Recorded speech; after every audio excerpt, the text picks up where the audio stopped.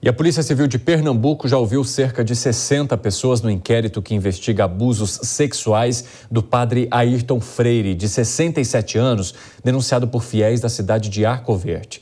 O religioso foi preso preventivamente em 14 de julho. Até agora, cinco inquéritos já foram abertos contra o padre Ayrton.